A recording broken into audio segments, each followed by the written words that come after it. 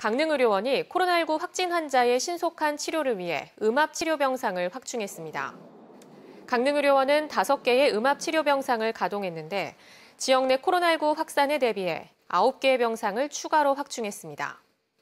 한편 강릉의료원은 음압 치료 병상이 병원 본관과 떨어진 별도 공간에 위치해 14개 진료과가 정상적으로 진료하며 종합검진도 실시하고 있다고 밝혔습니다.